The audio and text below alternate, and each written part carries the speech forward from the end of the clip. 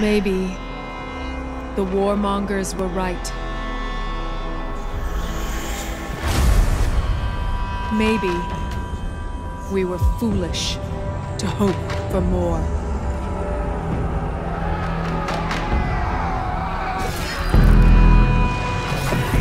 Maybe we deserve to be punished.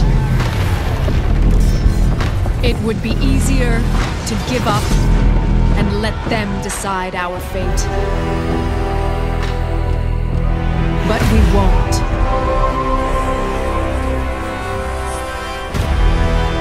Because it only takes a spark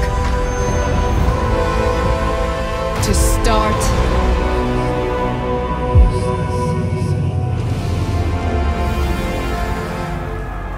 a rebellion.